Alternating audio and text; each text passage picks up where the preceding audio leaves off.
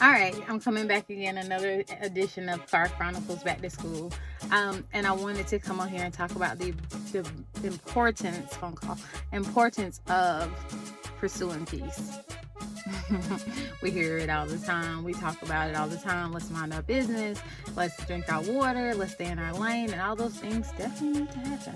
Um, but it's something about pursuing peace in everything that you do. Um, if you know that. By chance that you are going to be in an environment, especially as a new teacher, that someone just seems like they're just a little off, have negative energy, whatever the case, just be a tormented spirit. Who knows? Uh, however, that has nothing to do with you. And everything that you do and how you operate, who you connect with, who you involve yourself with, pursue peace. If it does not bring you peace, calmness, joy, a level of happiness that, um, you know, joins in with the happiness that you already have within, let it go.